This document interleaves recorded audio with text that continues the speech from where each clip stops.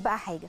دلوقتي هل أنا لما أجي أختار مكمل غذائي وأنا دلوقتي مش عارفة أنا هاخد إيه اللي مناسب ليا لازم اولا لازم نحط على رأس القائمه خلينا نكون كده إن أي حاجة مرخصه من وزارة الصحة هي أمان لينا. طبعا. صح كده؟ طبعا.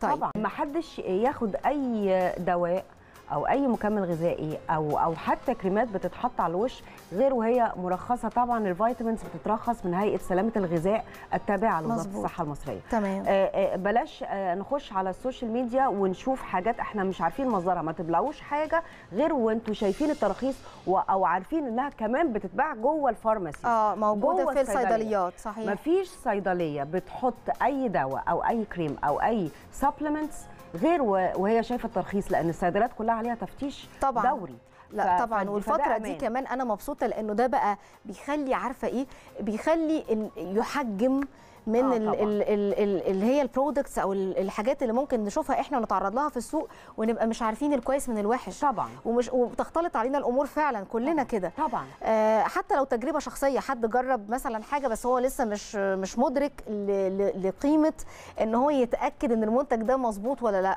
اللي عايز يتأكد المنتج ده مظبوط يشتريه من الصيدلية. direct، بالظبط. على طول. على طول. تمام ده ممتاز. طيب